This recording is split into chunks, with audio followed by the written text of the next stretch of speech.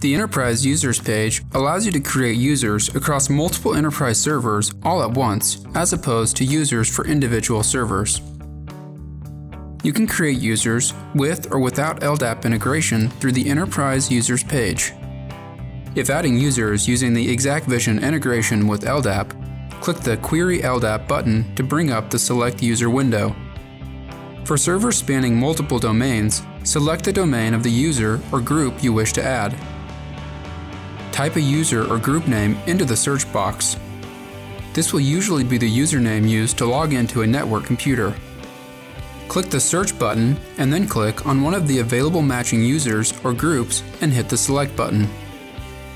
The Enterprise User page will now list servers with active LDAP integration.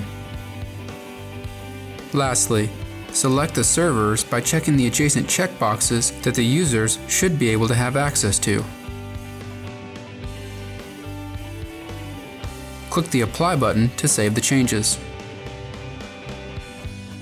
Once an LDAP user has been given credentials to the Enterprise exacqVision servers, Navigate back to Add Systems and be sure to select the Use Single Sign-On option so that the user's network credentials will be used to log into the exacqVision server. Users can also be created without the use of LDAP integration. To create a new user, click the New button beneath the user accounts. Give the user a name, as well as a password, and select their user group from the drop-down menu click the Apply to Systems grid box to populate the user's credentials in the list below. You can then select individual servers from the list, or all servers using the Select All Systems checkbox. To view a user's password, you can use the Show Passwords and Clear Text option. Click the Add button to save the changes.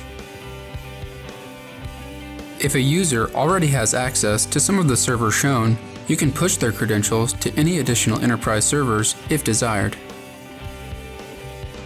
Find the user in the accounts list or type their name into the search box to pull up that user. Select a user from the accounts list to view their current server rights. Check any additional servers to which they should have rights. And click the Apply button at the bottom to give them rights to the newly selected exacqVision servers.